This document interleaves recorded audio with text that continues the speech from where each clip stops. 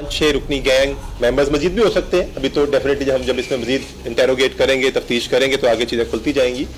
वो इसमें अनर्थ होता है, जिसके मेंबर्स कुछ आपके सामने मौजूद हैं और इनमें से एक ज़ख्मी आप देख भी सकते हैं। और इन लोगों ने एक ऑर्गेनाइज्ड गैंग के ज़रिए ये सारी वारदात करते थे। और मोस्टली इनका ताल्लुक जो है वो के पी के में ज़िला कोहाट और वहाँ के गुदनवा से है। लेकिन जिनमें जो मेन जो बंदे हैं, वो यहाँ पे ही एक जगह पे, एक फैक्ट्री में वहाँ पे चौकीदारा का काम करते हैं।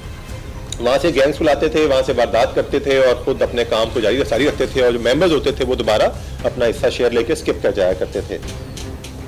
इसमें जो सबसे ज़्यादा अहमियत नामों में और चीज़ों में तो चले, बहुत कुछ रखा है, वो तो इंशाल्लाह आपके सामने ऐसे तक केस होगा, चीज़ें खुलती जाएँगी। जो एक बड़ी गौरतलब बात है, वो मैं आपकी साथत से आगे करना चाहता हूँ कि आप ये देखें, ये वो लोग हैं जो उन्हीं बैंक्स में ना सिर्फ़ पहले दिन वारदात, इन्होंने अब दो जो निजी बैंक हैं, अब उनके चले, नाम पता ही आपको। ये पहले दिन उन्होंने वारदात, वहाँ पे ये नहीं हुआ कि आए और वारदात कर दी। या सोच के घर से आए, किसी एक बैंक में हमने वारदात कर दी। नहीं, ऐसा नहीं है। एक रेखी करना ऑब्ज़र्व करना, वहाँ के लूप होल्स आइडेंटिफाई करना, और उसके बाद फिर इन्होंने अपना प्लान एग्जीक्यूट किया। अब वो जब ये रेखी करते हैं लूप होल को आइडेंटिफाई करते हैं, उस दौरान ये बैंकों के अंदर जाते हैं, वहाँ बैठते हैं।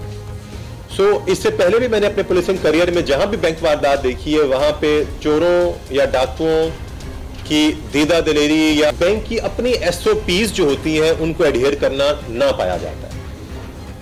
यानी कहीं पे चौकीदार चाय सर्व कर रहा है कहीं पे वो अपना वेपन जो है वो रख के बैठा है कहीं पे उसको वेपन से इक्विंटेंस ही नहीं है। या कहीं पे उसको दरवाजे खोलने पे लगाया हुआ एक तो हमारे अनफॉर्चुनेटली ये बड़ा कल्चर हो गया, आप आजकल बाजारों में दुकानों पर जाए तो आपको हर ब्रांड पे चौकीदार खड़ा दरवाजे खोलता हुआ नज़र आ रहा होगा। अगर उसने दरवाजे खोलने हैं तो फिर डेफिनेटली वो सिक्योरिटी उस तरह से प्रोवाइड नहीं कर सकता। तो ये चीज़ें थोड़ी सी लूप होल्स जो है, ये यहाँ पे भी सिस्टम में थे और उन्हीं लूप होल्स को इन्होंने आइडेंटिफाई किया और इन बैंक्स पे ऑपरेट किया और प्रॉपर रैकी के बाद उन्होंने ये वारदात की। और अभी आ, आ, हम इन तक पहुँच चुके हैं कुछ रिकवरीज इनसे हो चुकी है बाकी इंशाल्लाह जो उनके मिसिंग गैंग मेंबर्स हैं हम कोई कसर उठा नहीं छोड़ेंगे उनको पकड़ने के लिए।